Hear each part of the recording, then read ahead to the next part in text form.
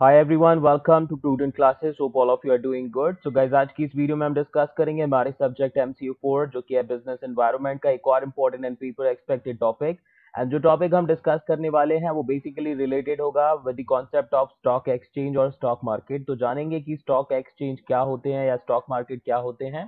तो डिटेल में I be explaining you about this particular concept and video के end तक. आपको जितने भी इंपॉर्टेंट पॉइंट्स है, वो आपको सब पता चल जाएँगे इस पर्टिकुलर कॉन्सेप्ट के. यहाँ पर हम बेसिकली डेफिनेशन डिस्कस करेंगे। हम यू नो इंपॉर्टेंट पॉइंट्स जो रिलेटेड होते हैं स्टॉक एक्सचेंज से, उनको डिस्कस करेंगे। नेक्स्ट वीडियो जो मैं आपको प्रोवाइड करूँगा, उसमें मैं डिस्कस करूँगा फ़ंक्शंस ऑफ़ स्टॉक एक्सचेंज जो कि पेपर के पॉइंट ऑफ़ व्यू से एक और इम्पोर्टेंट टॉपिक है। And this topic has been chosen from unit number ten this is the part one chapter का नेम है कैपिटल मार्केट आगे बढ़ने से पहले मिशन याद रखिएगा दैट इज़ सेवेंटी परसेंट और more in are upcoming exam so we have to work for that और अगर आप पहली बार मेरे चैनल पर वीडियो देख रहे हैं तो प्लीज़ सब्सक्राइब कर लीजिएगा चैनल को ताकि फ्यूचर में आपको इस तरह की इंपॉर्टेंट वीडियोस मिलती रहें जो कि आपको आपके एग्ज़ाम्स में यू you नो know, अच्छे मार्क्स दिलाने में हेल्प करें और साथ ही साथ आपकी नॉलेज बढ़ाने में हेल्प करें ओके? तो वीडियो के एंड तक आपको क्लैरिटी मिल जाएगी इस कॉन्सेप्ट के बारे में और कोशिश कीजिएगा कि साथ के साथ जितना हो सके पॉइंट्स याद होते जाएँ आपको और जितना हो सके इस वीडियो को अपने दोस्तों के साथ भी शेयर कर दीजिएगा। ताकि उन्हें भी अपने एग्ज़ाम्स में हेल्प हो सके।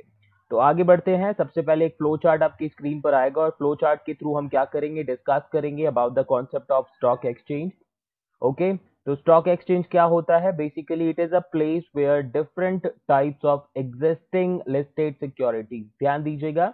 एक ऐसी जगह जहाँ पर अलग अलग तरह की एग्जिस्टिंग लिस्टेड सिक्योरिटी लिस्टेड मतलब वो सिक्योरिटीज जो कि स्टॉक एक्सचेंज में रजिस्टर्ड होती हैं। उनको हम बोलते हैं लिस्टेड सिक्योरिटी ओके तो एक ऐसी जगह जहाँ पर आपकी एग्जिस्टिंग यानी कि पहले से जो आपकी यू नो एग्जिस्टेंस में है, ऐसी लिस्टेड यानी कि जो कि स्टॉक एक्सचेंज में रजिस्टर्ड है, ऐसी सिक्योरिटीज अब उनमें कौन कौन सी सिक्योरिटीज आती हैं? It can be shares it can be debentures bonds और गवर्नमेंट सिक्योरिटीज ध्यान दीजिएगा। ये सिक्योरिटीज की हम जो बात कर रहे हैं इट कैन बी शेयर्स आपके वो शेयर्स हो सकते हैं डिवेंचर्स हो सकते हैं बॉन्ड्स हो सकते हैं, या फिर कोई गवर्नमेंट सिक्योरिटीज भी हो सकती है, जो कि ऑलरेडी क्या है लिस्टेड है स्टॉक एक्सचेंज में। Can be bought and sold on a regular basis तो एक ऐसी जगह जहाँ पर आपकी एग्जिस्टिंग लिस्टेड सिक्योरिटीज को आप खरीद सकते हो और बेच सकते हो रेगुलर बेसिस में। वो प्लेस आपकी कहलाती है stock exchange I repeat stock exchange is a place where different types of existing listed securities such as shares debentures bonds and government securities can be bought and sold on a regular basis okay तो I am sure guys ये point आपको clear होगा. Let's talk about the second point in this particular slide So, stock exchange is also known as stock market और secondary capital market. ध्यान दीजिएगा, stock exchange को stock market के नाम से भी जाना जाता है और secondary capital market के नाम से भी जाना जाता है तो ध्यान रखिएगा इन पॉइंट्स को आपसे क्वेश्चन में कुछ भी पूछा जाए, चाहे स्टॉक एक्सचेंज बोले या स्टॉक मार्केट बोले या सेकेंडरी कैपिटल मार्केट बोले answer will remain the same आपको आंसर सेम ही लिखना है ओके okay? तो नोट डाउन कर लीजिए फटाफट अगर आप करना चाहते हैं पॉइंट्स नोट्स नहीं तो याद हो चुके होंगे सिंपल पॉइंट्स हैं। आगे बढ़ते हैं नेक्स्ट स्लाइड में। अब हम डिस्कस करेंगे कुछ डेफिनेशन जो कि स्टॉक एक्सचेंज की प्रोवाइडेड हैं और आपको पता होनी चाहिए। तो I included two important definition जिनको आप याद करके जाइएगा क्योंकि डिफाइन uh, करने का क्वेश्चन भी एग्ज़ाम में कई बार पहले पूछा जा चुका है। तो सबसे पहली जो डेफिनेशन है that has been provided by the securities contract regulation act 1956 तो according to the securities contract regulation act 1956 what is stock exchange stock exchange is an association organisation और body of individuals whether incorporated or not established for the purpose of assisting regulating and controlling the business of buying selling and dealing in securities तो securities contract regulation act 1956 के according stock exchange क्या है ऐसी कोई भी association organisation या फिर body of individuals चाहे वो इनकॉर्पोरेटेड हो या ना हो, जिसका पर्पस एस्टेब्लिशमेंट का पर्पस क्या है, आपके जितने भी सिक्योरिटीज है उनको बाय सेल या उनके डीलिंग में असिस्ट करना रेगुलेट करना या कंट्रोल करना तो ऐसी कोई भी एसोसिएशन ऑर्गेनाइजेशन या बॉडी ऑफ़ इंडिविजुअल वो कहलाएगी स्टॉक एक्सचेंज ठीक है तो ध्यान दीजिएगा stock exchange according to the securities contract regulation act 1956 is an association organization or body of individuals doesn't matter whether incorporated or not established for the purpose of assisting regulating and controlling the business of buying selling dealing and dealing in securities तो जहाँ पर आपकी buying selling और dealing in securities का business होता है उसको assist करना रेगुलेट करना है और कंट्रोल करने में अगर आपकी कोई भी एसोसिएशन ऑर्गेनाइजेशन या फिर बॉडी ऑफ़ इंडिविजुअल हेल्प करते हैं तो आपके स्टॉक एक्सचेंज कहलाएँगे।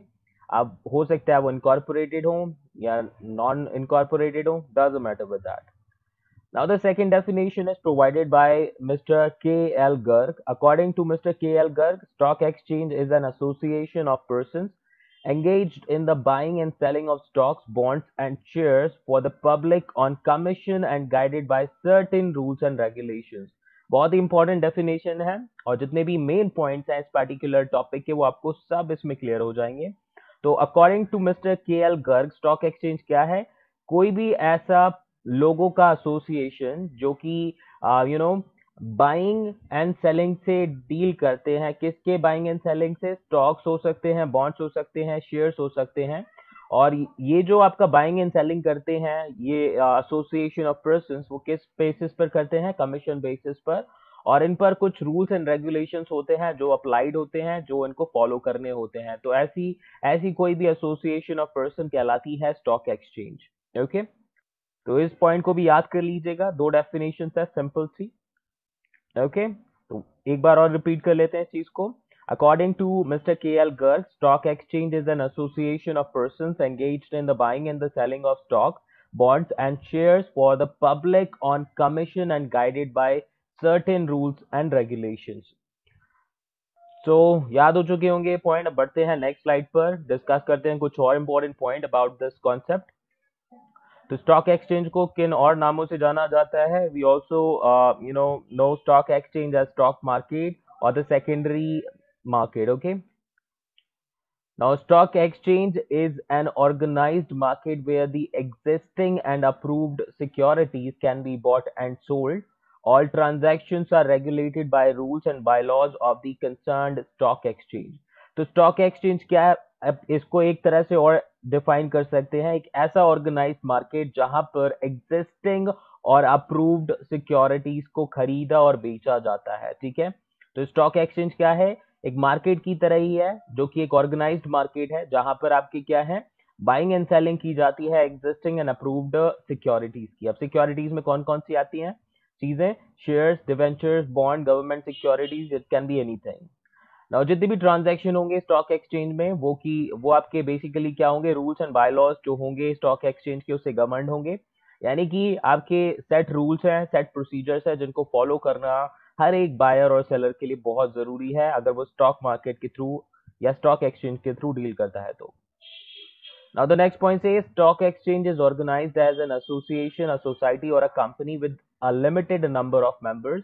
तो स्टॉक एक्सचेंज क्या है? एक एसोसिएशन के तौर पर भी ऑर्गेनाइज हो सकता है एक सोसाइटी के तौर पर जैसे कोऑपरेटिव सोसाइटीज होती हैं उसके तौर पर भी हो सकता है या एक कंपनी के तौर पर भी आपका ऑर्गेनाइज किया जा सकता है जिसमें एक लिमिटेड नंबर ऑफ़ मेंबर्स आप क्या कर सकते हैं पुट इन कर सकते हैं। अब what would be the minimum number और the limited number of members that can be you know put in stock exchange वो आपको पता करना है that your homework what is the limit of the members in order to create a stock exchange तो आप पता कीजिएगा इसको।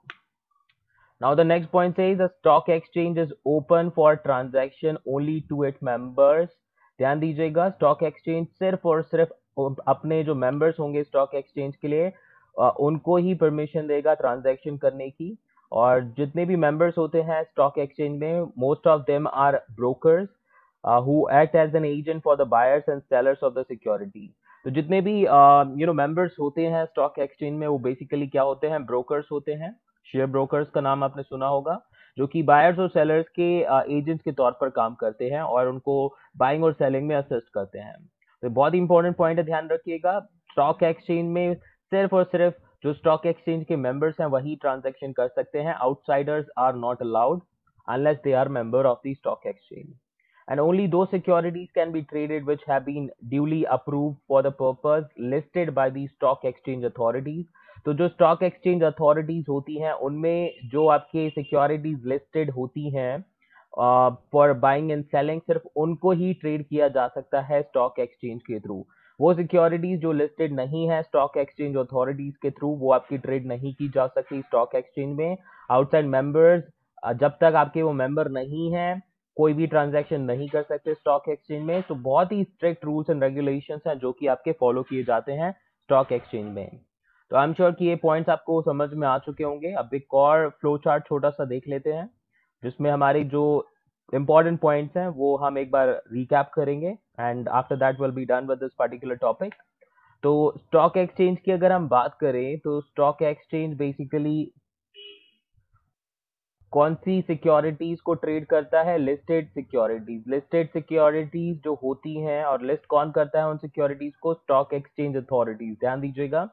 वो सिक्योरिटीज जिनको आपका लिस्ट किया जाता है स्टॉक मार्केट में by the stock exchange authorities are known as the listed securities जो केवल और केवल लिस्टेड सिक्योरिटीज को ट्रेड किया जाता है स्टॉक एक्सचेंज में या स्टॉक मार्केट में। और जो मेंबर्स होते हैं स्टॉक एक्सचेंज के या स्टॉक मार्केट के they can only buy and sell the securities in that particular market ठीक है? तो सिर्फ़ और सिर्फ़ जो मेंबर्स हैं, आपके स्टॉक एक्सचेंज के वही बाय और सेल कर सकते हैं उस पर्टिकुलर मार्केट में या उस पर्टिकुलर एक्सचेंज में। तो ये थे कुछ इंपॉर्टेंट पॉइंट्स जो कि आपको पता होने चाहिए थे। आगे की जो वीडियो लेकर आऊँगा, उसमें डिस्कस करेंगे important function of stock exchange तो सब्सक्राइब कर लीजिएगा, नहीं किया, जिससे कि फ्यूचर जो वीडियो होंगी, उनकी नोटिफिकेशन आपको मिल सके। चैनल का प्लेलिस्ट जो है, एक बार जाकर उसमें भी देख लीजिएगा। बहुत सारी वीडियोस आपको मिल जाएँगी, जो कि आपको एग्ज़ाम में अच्छे मार्क्स अचीव करने में हेल्प करेंगी। तो मिलते हैं नेक्स्ट वीडियो में। अभी के लिए इतना ही। Thank you so much and perform best in your exams bye